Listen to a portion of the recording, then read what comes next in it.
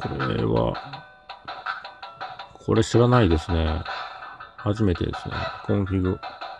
あ、コントローラーのだあれだけか。女性キャラっぽいからな。あ、こういうゲームか。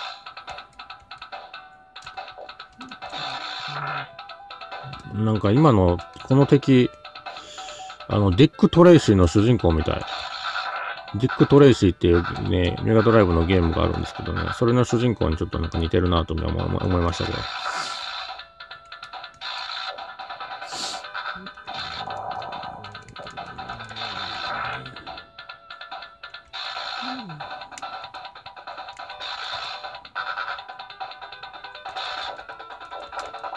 うわ、結構難しいな。めっちゃ食らってる。なんかたまになんか打てない時あるけど、球が。ほら、今も打てなかったし。回数限られてんのかこれ、打てる回数が。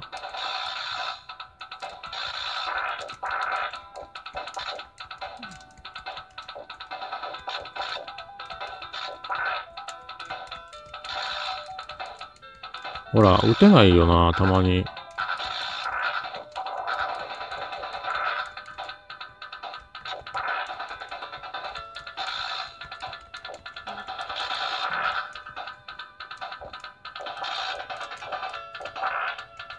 もう死にかけやで。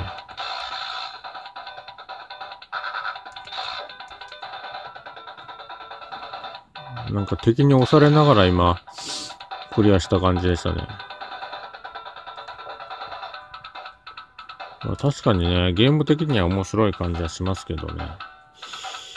でもな、操作性が悪いからな、どうしてもな。こんな携帯ゲームでやるってなるとね、なかなか厳しい。あ、終わった。